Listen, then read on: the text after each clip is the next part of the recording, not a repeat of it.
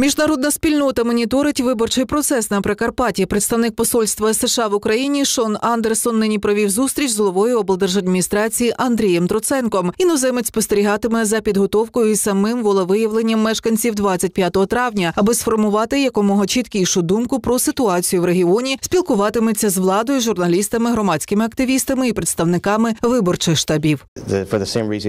Вільне волевиявлення громадян для нас так само важливе, як і для ОБСЄ. У ситуації, що склалася в Україні, ми хочемо впевнитися, що найближчі вибори будуть чесними та прозорими.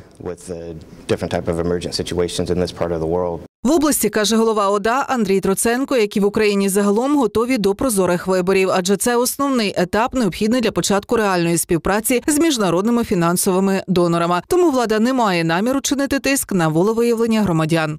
Ми розуміємо те, що органи державної влади сьогодні е, під таким, ну е, можна сказати, як мікроскопом, і ми розуміємо, що використання адміністративного ресурсу або інших важелів, які можуть вплинути на волевиявлення наших людей, зараз недопустимо, і ми повинні забезпечити нормальний процес голосування. Загалом нині спостерігають за виборчим процесом в області вже близько десятка іноземних спостерігачів.